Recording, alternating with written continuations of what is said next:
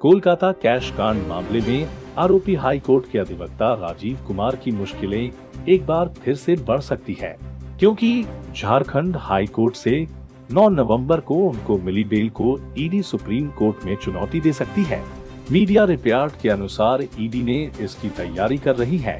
बताते चले कि अधिवक्ता राजीव कुमार को राशि देकर गिरफ़्तार कराने वाले अमित कुमार अग्रवाल की एसएलपी पर सुप्रीम कोर्ट में 16 दिसंबर को सुनवाई हुई थी।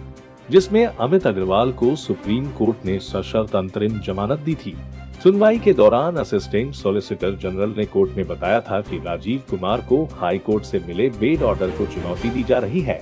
अमित अग्रवाल को कैश कांड के मामले में ईडी ने गिरफ़्तार किया था।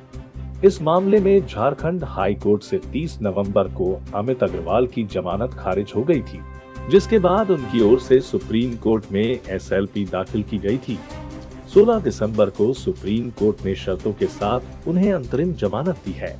उन्हें आदेश दिया गया है कि अंतरिम जमानत पर रहने तक वह ट्रायल कोर्ट में अपना पासपोर्ट जमा कराएँगे। निचली अदालत के आदेश के बिना भारत नहीं छोड़ेंगे। ईडी द्वारा समन किए जाने पर अमित अग्रवाल ईडी के ऑफ़िस जाएँगे।